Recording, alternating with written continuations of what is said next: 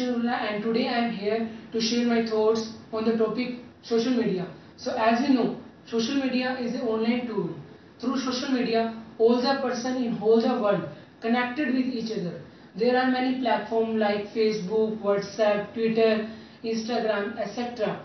By social media, we can share any information and we can share any idea with different people and different organization.